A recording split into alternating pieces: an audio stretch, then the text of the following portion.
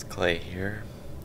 Uh, it's like 3 a.m. right now, and I had a sudden inspiration to start a vlog. So, here we go.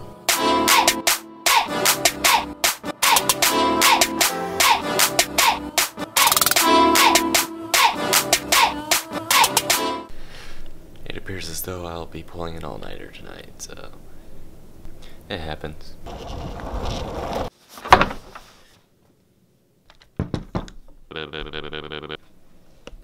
Okay, so here's the deal. I planned on starting this vlog yesterday, but I realized I was completely unprepared. So I was using the widest lens that I have, which is a. Hold on. This Tamron 28 to 75, and this lens sucks. Don't get it. And um, so I have a few problems with this lens. It's uh, well, first of all, it's super heavy. Um, also, it has a really loud focus, and you could hear it in literally every shot.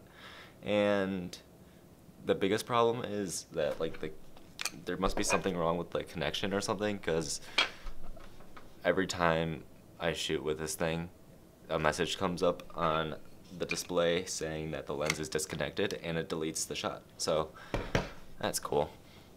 Anyway, my friend from school, Nick, uh, he hooked me up with this lens. So shout out to Nick. Go follow his channel. Uh, it's called Infantry Studios. You the man, Nick. Since this vlog is already pretty unconventional, I guess I'll just roll some footage that I got at school.